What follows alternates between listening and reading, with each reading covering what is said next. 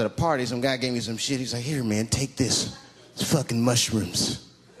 Then a couple days later, I found that shit in my pocket. I'm thinking, why not? Because I'm thinking it's like weed, some background shit. I chewed it up. So far, so good. then I was in a barber shop like an hour later. And it's funny because I was just thinking to myself, I was like, ooh, this stuff sucks. then I looked in the mirror.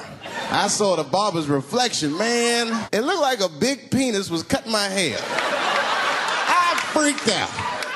I started talking to myself, Dave, calm down. You're on drugs. This is what drugs do. But I started freaking out, man. I just couldn't take it anymore. I jumped out the chair, half my hair was cut, I didn't care. I, I didn't, I just gave a barber a handful of money. It was weird, the balls opened up. Anyway, I.